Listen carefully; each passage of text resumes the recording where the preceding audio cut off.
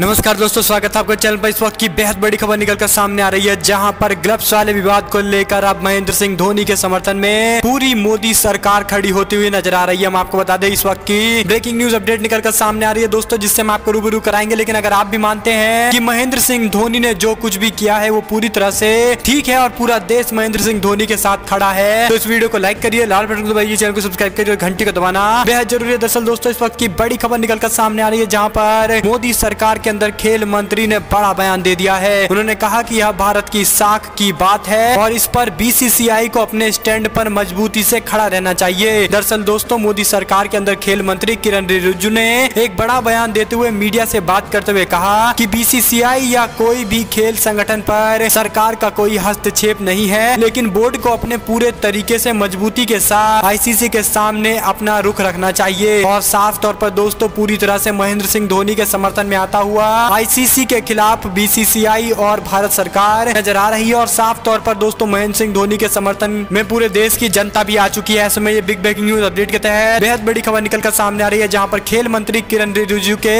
बयान के बाद कहीं ना कहीं अब महेंद्र सिंह धोनी को और ज़्यादा समर्थन मिलता हुआ नज़र आ रहा है। यानी साफ़ तौर पर मोदी सरकार पूरी तरह से महेंद्र सिंह धोनी के समर्थन में खड़ी है। इसी के साथ दोस्तों, एक और ब्रेकिंग न्यूज़ अपडेट लेकर आए हैं, जहाँ पर पाकिस्तान को इसको, इस मामले को लेकर मिर्ची लगती हुई नज़र आ रही है। दरअसल दोस्तों, पाकिस्तान के खेल मंत्री फवाद हुसैन ने एक बड़ा बयान दे दिया है। हम आपको बता दें कि धोनी के ग्लब पर लोगों के प्रतिक्रियाएँ आनी शुरू हो गई हैं और बीसीसीआई ने भी महेंद्र सिंह धोनी का समर्थन किया है। बीसीसीआई ने आईसीसी से धोनी पर जारी नोटिफिकेशन को वापस लेने के लिए कहा है और धोनी को बैच लगाए रखने की इजाज़त देने की मांग की है। बीसीसीआई ने कहा है की महेंद्र सिंह धोनी ने जो किया है वो पूरी तरह से ठीक है, क्योंकि ये जो चिन्ह है, यह ना तो किसी व्यवसायिक या फिर राजनीतिक इस्तेमाल के लिए इस्तेमाल किया गया है, न ही कोई धार्मिक चिन्ह से इसका कोई लेना देना है। ऐसे में बीसीसीआई ने लोगों को सेना का भी प्रतीक नहीं बताया है और इसलिए आईसीसी से मांग की है कि अपने नियमों का उल्लंघन नहीं हुआ है। ऐसे में महेंद्र सिंह धोनी को ग्लव्स पर लोगो बनाए रखने की इजाज़त मिलनी चाहिए। इसी के साथ दोस्तों, एक बड़ी खबर जो निकलकर सामने आ रही है, जहाँ पर पाकिस्तान को